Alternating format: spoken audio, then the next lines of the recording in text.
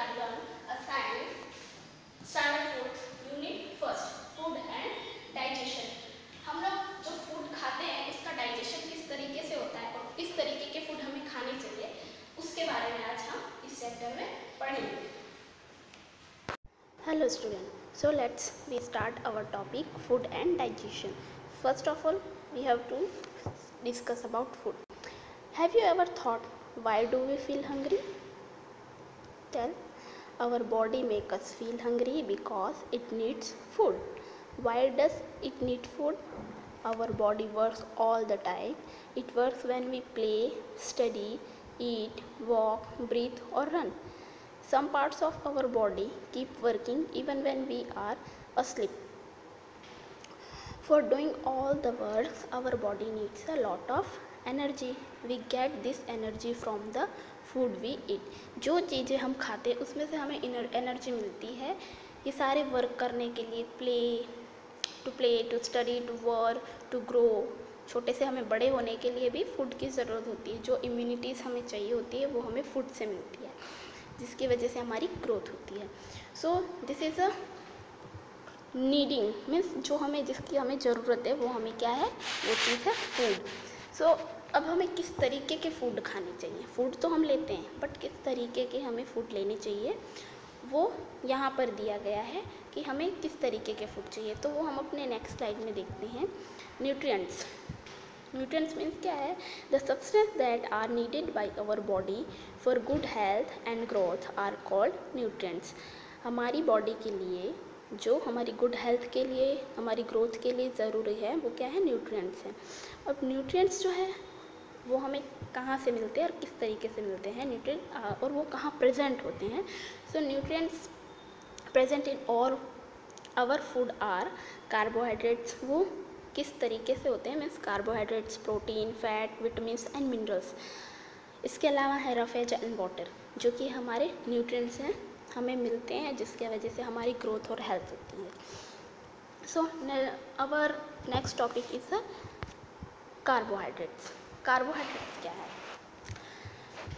We get energy from carbohydrates हमें carbohydrates में से क्या मिलती है? Energy sugar and starch are two type of carbohydrates sugar और स्टार्च जो है, वो दो तरीके के कार्बोहाइड्रेट्स है.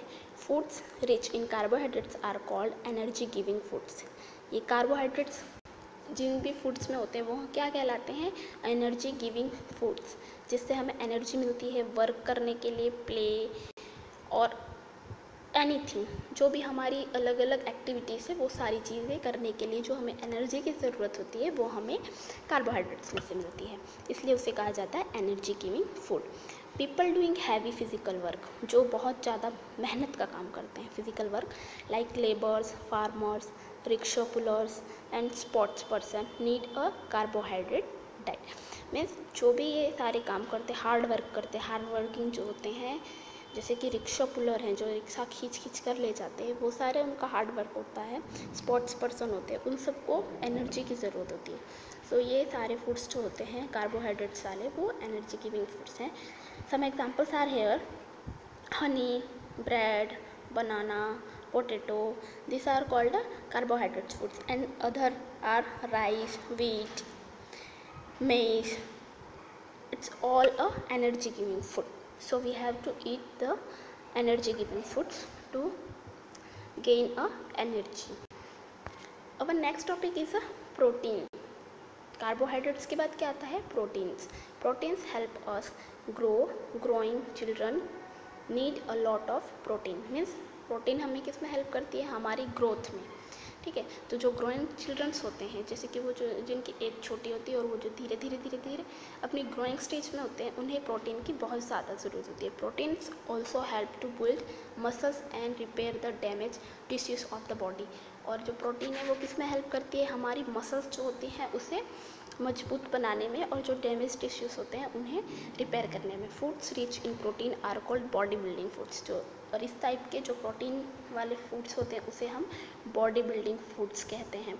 जैसे कि जो जिम ज्वाइन करता है जिम में जो जाते हैं अपनी मसल्स को आ, बहुत टाइट एंड फिगर इट कर ले जाते हैं जो अपनी मसल्स बनाने बिल्ड द मसल्स सो वो सब कैसे लेते हैं फूड्स वो सब प्रोटीन्स वाले फूड्स लेते हैं।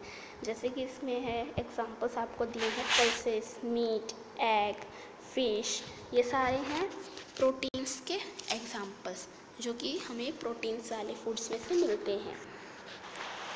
Our next topic is a fat fats are the richest source of energy in our diet ये कौन सा है रिचेस्ट सबसे ज़्यादा इम्पोर्टेंट जो है वो फैट है। एनर्जी जो देता है they give us more energy than carbohydrates वो फैट्स जो है, वो हमें कार्बोहाइड्रेट से भी ज़्यादा एनर्जी प्रोवाइड करते हैं. दे कीप अस वार्म वो हमें गर्म लगते हैं. Foods rich in fats are also called energy giving foods और जो फैट्स में फूड्स में जिसमें फैट्स होते हैं, वो उन्हें भी हम एनर्जी गिविंग फूड्स ही कहते हैं. Cooking oils nuts are example of it our body needs very little amount of fat means cooking oils जो है, वो सा, वो butter ghee cooking cooking oils nuts they are example of fats ठीक है? Our body needs very little amount of fat हमारी जो body है, उसे बहुत ही छोटा सा मतलब बहुत ही कम मात्रा में फैट्स चाहिए होता है। Excess fat is harmful to us जो ज़्यादा फैट हो जाता है, वो हमें हार्म करता है because it makes us obese and causes many disease और जो ज़्यादा फैटी इंसान होते हैं, उन्हें आपने देखा होगा, उनको कोई ना कोई डिसीज़ यानी कोई ना कोई बीमारी होती ही है। तो ज़्यादा फैट जो है, वो हमारे लिए हार्मफुल है, वो हमें डिसीज ज़्यादा देता है। नेक्स्ट इज़ विटामिन्स विटामिन्स क्या है? We need vitamins in small amount हमें स्मॉल अमाउंट में ही विटामिन भी चाहिए होते। Foods rich in vitamin are called protective foods because vitamins help our body to fight against disease and keep us healthy means vitamins जो है हमें क्या करती है? वो प्रोटेक्टिव फ़ूड होती है। प्रोटेक्टिव करना यानी हमें प्रोटेक्ट रखना, किसी भी डिज़ीज़ को हम तक पहुँचने से। तो ये सारी चीज़ें जो है वो विटामिन्स हमें प्रोटेक्ट करती है। और प्रोटेक्टिव फूड्स में किस, किसको हम डाल सकते हैं? So veg fruits vegetable milk fish meat egg and sprouted grams sprouted grams means क्या होता है? ग्राम्स मीन्स होता है चना। स्प्राउटेड मतलब उसमें वाइट कलर के जो स्प्राउट निकले होते हैं, उसे हम बोलते हैं स्प्राउटेड ग्राम ये सारी चीज़ें हमें क्या देती है? विटामिन देती है। एंड विटामिन्स जो है, वो हमारी बॉडी में किसी भी डिज़ीज़ के अगेंस्ट फाइट करने के लिए हमें स्ट्रॉन्ग बनाता है। So vitamin is very needed means बहुत ही ज़रूरी है हमारे लिए। नेक्स्ट इज़ मिनरल्स मिनरल्स क्या होते हैं? Foods rich in minerals are also called protective food जो फ़ूड में मिनरल्स होते हैं, वो उससे भी हम क्या कहते हैं, प्रोटेक्टिव फूड्स ही कहते हैं। They keep us healthy and fit. वो हमें क्या रखते हैं, हेल्थी एंड फिट रखते हैं। They help our body to build strong bones. वो हमारी हेल्प करते हैं स्ट्रॉन्ग बॉन्स में, टीथ एंड ब्लड में। इन सब चीज़ों में मिनरल्स हमारी हेल्प करते हैं। Vegetable milk and cereals are rich in minerals. Minerals अब हमें कहाँ से मिलेगा? हम खाएँगे तो फ़ूड हमें पता है बट हमें ये सारी चीज़ें मिलेगी कहाँ से वो हमें पता होना चाहिए। तो ये मिनरल्स कहाँ से मिलेगा? वेजिटेबल्स मिल्क एंड सीरियल्स अब इसमें भी मिनरल्स तो होते हैं पर बहुत तरीके के होते हैं। सो so, इधर पर हमने मेंशन किए हैं इंपॉर्टेंट मिनरल्स को जिसमें है calcium potassium sodium iron iodine so let's see calcium make our teeth and bones strong. Calcium क्या करता है? हमारे टीथ और बोन्स को स्ट्रॉन्ग करता है। और वो हमें कहाँ से मिलेगा? Milk curd paneer are rich in calcium. जो दूध से बनी चीज़ें होती हैं, वो हमें कैल्शियम प्रोवाइड करती हैं। Iron help in the formation of blood in our body. और आयरन क्या हेल्प करता है? ब्लड के फॉर्मेशन में जो होता है हमारी बॉडी में, उसमें हेल्प करता है। और वो कहाँ से हमें मिलेगा? Iron, green leafy, vegetable, apple, carrots etc means fruits में से और वेजिटेबल्स ग्रीन लीफी वेजिटेबल्स में से हमें आयरन मिलता है। Are rich in iron means ये सारी चीज़ें हमें आयरन में से मिलती हैं। आयोडीन जो है वो हमें नमक में से भी मिलता है। अब इन सब के अलावा क्या चीज़ें हैं? इधर पर एग्जांपल आपको दिए हैं। ग्रीन लीफी वेजिटेबल्स दिए हैं स्पाइनिच है कॉर्ड मिल कैरेट ये सारे एग्जांपल्स हैं मिनरल्स के, जिसमें कि हमें कैल्शियम और पोटेशियम, सोडियम, आयरन और आयोडीन मिलता है। अब इसमें एडिशनल है न्यूट्रिएंट्स तो हमें चाहिए। उसके साथ और क्या होना चाहिए? तो रफेज एंड वाटर होना चाहिए। तो अपना नेक्स्ट है ये roughage roughage is the fibre present in the food items that we get from plants roughage क्या है? उसमें क्या प्रेजेंट होता है? फाइबर होता है, जो कि हमें प्लांट्स में से मिलता है। Most of the fruits vegetables and seeds contain fibres we cannot digest roughage. It is an important part of our diet because it help to remove undigested food from our body. क्या करता है वो? Most of the fruit और vegetables क्या है? And seize consent fibre बहुत से ऐसे होते हैं जिसमें है ना फाइबर कंटेन होता है। पर वो हम डाइजेस्ट आसानी से नहीं कर सकते हैं। तो रफेज क्या इसको करता है? जो अनडाइजेस्टेड फ़ूड है, उसे साइड करता है और उसे डाइजेस्ट करता है। जो कि उसे चाहिए होती उतनी ही मात्रा में। Next is a water there is a three fourth of our body weight is water अपने बॉडी का थ्री फोर्थ जो वेट है, वो वाटर से बना है। It helps the body to dissolve digest and absorb the food वो हमें क्या हेल्प करता है? Three fourth part of the body weight of body वो हमें करता है हेल्प डिज़ोल्व करने में। जो हम फ़ूड लेते हैं, उसे डिज़ोल्व करने में डाइजेस्ट करने में और एब्जॉर्ब करने में। It helps in removing our body wastage through sweat and urine और वो हमें हेल्प करता है जो हमारा अनडाइजेस्टेड फ़ूड है, उसको रिमूव करने में by sweat and urine we should drink about eight to ten glasses of water every day हमें क्या करना चाहिए? आठ से दस ग्लास पानी रोज़ पीना चाहिए। ये रोज़ का है। नेक्स्ट इज़ बैलेंस्ड डाइट अब इतना सारा हो गया हमारा कि हमें न्यूट्रिएंट्स लेना चाहिए। न्यूट्रिएंट्स में क्या आएगा? Carbohydrate vitamin fats protein minerals अब मिनरल्स में भी कैसे मिनरल्स होने चाहिए? Calcium potassium sodium iron iodine वाले होने चाहिए। रफेज होना चाहिए वाटर होना चाहिए। और ये सब हमें मिलेगा कैसे? प्रोवाइड हम कैसे कर सकते हैं? खुद तो वो ये सारी चीज़ें हमें बैलेंस डाइट के थ्रू मिलेगी। अब बैलेंस डाइट क्या है, वो हम समझते हैं। The food we eat daily is called our diet जो हम रोज़ खाते हैं, वो हमारा डाइट कहलाता है। A diet that contain proper amount of all the nutrients स्टफेज and water required for good health is called balanced diet means जो proper amount मतलब जितनी हमारी बॉडी को ज़रूरत होती है, वैसा प्रॉपर अमाउंट में न्यूट्रिएंट रफेज और वाटर हमें रिक्वायर्ड है, वो हमें मिलेगा, जिससे हमारी हेल्थ कैसी होती है गुड होती है। उसे हम कहते हैं balance diet we should eat different type of food to get all nutrients हमें क्या करना चाहिए? डिफरेंट तरीके के फूड्स खाने चाहिए। रोज़ एक ही नहीं अलग अलग तरीके के। वैसे तो हमारे घर में बनते हैं, जैसे कि दाल बन गया, चावल बन गया कोई ना कोई वेजिटेबल्स बनते ही हैं सब्ज़ी। उसमें सारी तरीके की अब सब्ज़ी बन रही है तो उसमें भी बहुत सारी चीज़ें ऑयल है, जो कि हमें फैट देता है। फिर वे ग्रीन लीफी वेजिटेबल्स अगर बना रहे हो तो उसमें हमें कैल्शियम मिलेगा विटामिन्स मिल रहे हैं वेजिटेबल्स फ्रूट्स में। और अगर हम सैलड खा रहे हैं तो उसमें भी हमें सारे न्यूट्रिएंट्स प्रोवाइड हो रहे हैं तो मीन्स वो हमारी बैलेंस्ड डाइट है। तो हमें ऐसा ही फ़ूड लेना चाहिए जिससे कि हमारी डाइट जो है वो बैलेंस्ड रहे। ना the important topic is digestion जो हम खाते हैं वो तो ठीक है बट बहुत से लोगों को ऐसा होता है कि डाइजेस्ट नहीं हो रहा कि क्या नहीं है, ये सारी प्रॉब्लम्स होती है। तो डाइजेस्टिव सिस्टम है क्या? डाइजेशन है क्या? हमारे बॉडी में जो है डाइजेस्टिव सिस्टम क्या है? तो वो हम आज समझेंगे। What is a digestion the food that we eat does not give energy directly to our body it gives energy after digestion means क्या बोल रहा है ये? कि जो फ़ूड हम खाते हैं, वो हमें तुरंत, जैसे हमने मुँह में डाला और उसने हमें एनर्जी दे दी किसी भी चीज़ को करने के लिए, ये पॉसिबल नहीं है। वो हमें एनर्जी कब दे रहा है? आफ्टर डाइजेशन जब उसका डाइजेशन प्रोसेस हो जा रहा है, तब वो हमें एनर्जी दे रहा है। Digestion is a process in which the food we eat is broken down into simple and soluble substance that are absorb by the body digestion क्या है? एक प्रोसेस है जिसमें हम फ़ूड खाते हैं, उसको वो ब्रॉक कर रहा है छोटे छोटे टुकड़ों में कर रहा है सिंपल सब्सटेंस और सॉल्यूबल सब्सटेंस बना रहा है और जिसे हमारी बॉडी एब्जॉर्ब कर रही है, वो है डाइजेशन सिस्टम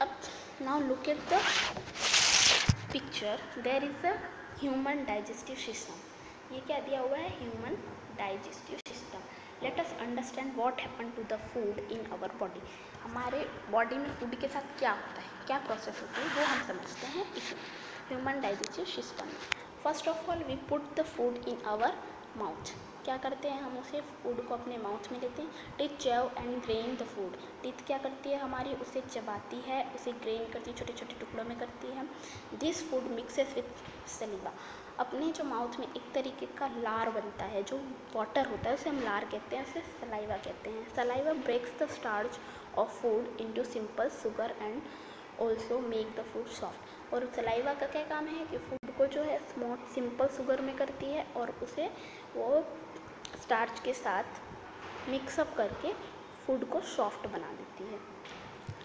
वो प्रोसेस हमारी माउथ में होती है। इतनी प्रोसेस जो है वो हमारे माउथ में होती है। नेक्स्ट वन इज़ माउथ के बाद हमारे सेकेंड फ़ूड पाइप पे ऑइसोफेसिस इसमें फ़ूड पाइप में क्या होता है? Food food passes through the food pipe to reach the stomach food क्या होता है? अपने फ़ूड पाइप से सीधा स्टमक में आता है। Third one is stomach stomach का क्या काम है? Here food is churn and mixed with digestive juice इधर क्या होता है वो? कि डाइजेस्टिव जूस के साथ मिक्सड होता है। Digestive juice break down the food into simple and soluble form और डाइजेस्टिव जूस क्या करता है उसे? Break down means break down means तोड़ना, उसे तोड़ता है सिंपल और सोल्यूबल फॉर्म में। देन इस दैट लीवर दिया लीवर का क्या काम है? Liver produce bile that help to digest fats in small intestine means क्या करता है लीवर वो एक तरीके का बाइल प्रोड्यूस करता है, जिससे कि वो हेल्प करता है हमें फैट को डाइजेस्ट करने में। उसके बाद आता है पैनक्रिया जो इसमें दी हुई है पैनक्रिया, ब्लू कलर में। Pancreas produce juice that helps to digest carbohydrates fats and proteins in small entails means जो पैनक्रिया का क्या करती है, वो एक तरीके का जूस प्रोड्यूस करती है, जो हेल्प करता है डाइजेस्ट करने में कार्बोहाइड्रेट्स को फैट्स को प्रोटीन्स को स्मॉल अमाउंट में। जितना हमारी बॉडी को चाहिए सिर्फ़ उतने अमाउंट में। Then number four small intestine small intestine क्या दिया है? It is a long coil tube that produce some digestive juice the process of digestion complete here means जो ये कॉयल टाइप का दिया हुआ है स्मॉल इंटेस्टाइन जिसे हम कहते हैं, आँत आँत कहा जाता है हिंदी में। वो क्या करती है? एक तरीके का जूस प्रोवाइड करती है डाइजेस्टिव जूस और इसमें क्या होता है? ये कोइल्ड है मीन्स एक ट्यूब तरीके की है small digestive juice the process of digestion complete here और इस तरह पर डाइजेशन की जो प्रोसेस है वो कंप्लीट होती है। Then number five large intestine large बड़ी आंत जिसे कहते हैं हम it holds the undigested food जो स्मॉल इंटेस्टाइन है, वहाँ पर डाइजेशन की प्रोसेस कंप्लीट हुई। अब वहाँ पर जो उसे डाइजेस्ट करना था, उसने ले लिया। उसके बाद जो अनडाइजेस्टेड फ़ूड है, वो उसको लार्ज इंटेस्टाइन में डाल दे रही है। It holds the undigested food absorb water from it and form faeces semi solid waste और फिर वो क्या करती है? उसमें से अनडाइजेस्टेड फ़ूड को लेती है absorb the water of it and form faeces solid waste बनाती है। फिर एनस नीचे जो एरो दिया six number anus undigested semi solid waste is passed out as stool through it और जो अनडाइजेस्टेड फ़ूड जो होता है, जो कचरा हमारे पेट में जमा हो गया होता है, जिसे जो ज़रूरत है वो तो उसने अपने पूरे सिस्टम से ले लिया कार्बोहाइड्रेट वगैरह। और जो अनडाइजेस्टेड फ़ूड है, वो अभी कचरे की तरीके से हमारे स्टमक में रहता है, उसे वो यहाँ से पास करके बाहर निकाल देता है। So this is called a digestion system digestive system है ह्यूमन डाइजेस्टिव सिस्टम। अब हमें पता चला कि हाँ ये जो फ़ूड हम खाते हैं उसकी इतनी सारी प्रोसेस हमारे बॉडी में होती है। और इतनी प्रोसेस के बाद जो भी हम फ़ूड खा रहे हैं वो हमें एनर्जी प्रोवाइड करता है। Our next topic is a junk food. Some food items like french fries, chips, cake and pizza are tasty but unhealthy for us.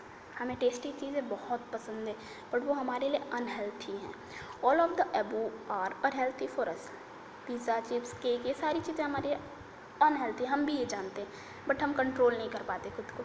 They are called junk food इन्हें हम क्या कहते हैं? Junk food they contain a lot of fats and sugar ये क्या करते हैं? बहुत सारी फैट्स और शुगर कंटेन करते हैं। We should avoid junk food हमें क्या करना चाहिए? जंक फ़ूड को अवॉइड करना चाहिए। क्योंकि अब देखो, बहुत जल्दी शुगर की जो पेशेंट होते हैं वो बहुत जल्दी आ जाते हैं। जैसे कि डायबिटीज़ कहते हैं हम। डायबिटीज़ के पेशेंट बहुत जल्दी आ रही है। ये सारी जंक फ़ूड खा खा कर। और फैट्स मतलब जो मोटे मोटे लोग हेल्थी दिखते हैं उन सबको ये सारी बीमारियाँ डिज़ीज़ जो है बहुत जल्दी पकड़ती हैं। सो so, हमें अपने ये जंक फ़ूड को अवॉइड करना चाहिए जितना हो सके उतना। Next is a good eating habit for proper digestion means proper digestion के लिए जो गुड हैबिट्स हैं हमारी ईटिंग हैबिट्स वो है। सो so, इसे हम देख लेते हैं। First always take your meal in a pleasant environment means अच्छे से एनवायरनमेंट में अपना फ़ूड लेना चाहिए। ईट अ रेगुलर इंटरवल और हर इंटरवल पर जैसे कि टाइम फिक्स है मॉर्निंग का फिर आफ्टरनून का नाइट का ये सारे के सारे इंटरवल्स में हमें प्रॉपर डाइट लेनी चाहिए। Chew the food well before swallowing means जब हम खाते हैं तो माउथ में उसको हम निकलते हैं स्वेलोविंग करते हैं। उससे पहले हमें उसे अच्छी तरीके से चबाना चाहिए। Eat a lot of green vegetables and fruits और हमें जितना हो सके ज़्यादा से ज़्यादा ग्रीन वेजिटेबल्स और फ्रूट्स लेने चाहिए। ईट अ बैलेंस डाइट हमें बैलेंस डाइट लेनी चाहिए। Eat fresh and healthy food हमें फ्रेश और हेल्थी फ़ूड लेना चाहिए। Drink eight to ten glass of water every day रोज़ हमें कितने ग्लास आठ से दस ग्लास पानी पीना चाहिए अवॉइड ओवर और हमें अपनी भूख से ज़्यादा कभी नहीं खाना चाहिए। Next is cooking food cooking food other than fruits and some vegetable most of the food items are cooked before eating means बहुत से ऐसी चीज़ें होती हैं जिससे हम, जैसे कि कुछ वेजिटेबल और फ्रूट्स को छोड़कर हम उसे कुक करके ही खाते हैं। Food can be cook by boiling frying roasting baking और steaming we cook food because हम क्यों फ़ूड को कुक करते हैं because it makes the food tasty food कैसा हो जाता है tasty it makes the food soft and easy to diet उससे क्या हो जाता है? फ़ूड जो है वो सॉफ्ट हो जाता है और ईजी हो जाता है हमें डाइजेस्ट करने में. It kills germs present in the food और जो भी जम्स उसमें प्रेजेंट होते हैं उससे वो किल कर देता है. जैसे कि अभी कोरोना हुआ है बहुत ज़्यादा तो हम बाहर से कोई भी वेजिटेबल्स लाते हैं, उसे धोकर अगर उसे हम अच्छे से कुक कर लेते हैं तो उसमें कोई भी वायरस नहीं रह जाता। तो वो हमारे लिए हेल्थी हो जाता है खाने के लिए। Next one is a food preservation food preservation preservation means क्या होता है?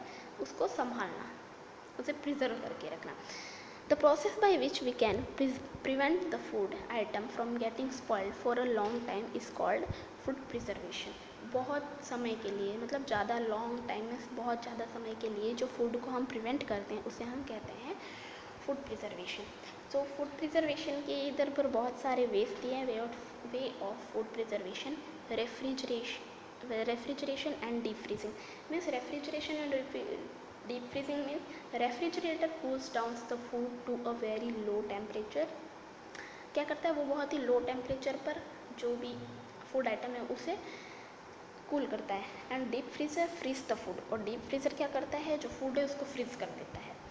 Both cooling and freezing preserve the food by slowing down the growth of microbe और दोनों ही प्रोसेस से क्या होता है? जो फ़ूड में माइक्रोब्स उत्पन्न हो जाते हैं मतलब पैदा हो जाते हैं ग्रोथ हो जाती है, उनकी कुछ समय बाद तो वो नहीं होती है। Next is a bottling and canning bottling means food is sealed in bottles and cans after killing germ मतलब जो भी फूड्स है उनके जम्स को हम किल करके फिर उसे हम अच्छे से बॉटल में अच्छे से सील्ड कर देते हैं या फिर कैन में पैक कर देते हैं। This does not allow the growth of microbes for a long time till the can or bottles are open means क्या करते हैं? इसके बाद जैसे कि हमने जम्स को किल किया, उसके बाद उसको बॉटल्स में भर के बॉटलिंग और कैनिंग कर दी मतलब उसकी शील अच्छे से पैक कर दी। उसके बाद उसमें कोई भी माइक्रोब्स जो है, उसकी ग्रोथ नहीं होती है जब तक हम बॉटल को ओपन नहीं करते। जैसे कि हमने बॉटल ओपन कर दी, उसका पूरा यूज़ उस टाइम नहीं हुआ और बहुत दिनों तक हमने उसे ऐसे ही रहने दिया, तब उसमें माइक्रोब्स आ सकते हैं। Next is drying food is dried by removing all water content from it this prevent the food from getting spoiled मतलब उसको सुखा कर रखना, जैसे कि ग्रैप्स है उसको हम सुखाते हैं तो वो क्या बन जाता है? किसमिस जिसे हम कहते हैं, वो बच जाता है। तो उसकी वाटर जो है, वो सारा हमने हटा दिया तो उसे हमने ड्राइंग कर दिया। मतलब किसी भी चीज़ को सुखा कर रखना। इससे कोई भी फ़ूड जो है, वो स्पॉइल नहीं होता है। Next is the pickling and jelling pickling means अचार बनाना जेलिंग मतलब जो जेली वगैरह मिलती है वो।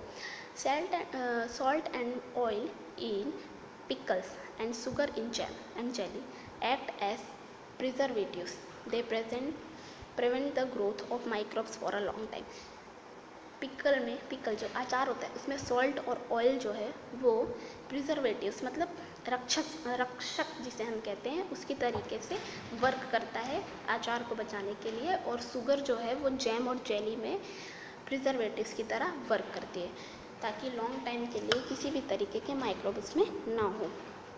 So this is our unit one food and digestion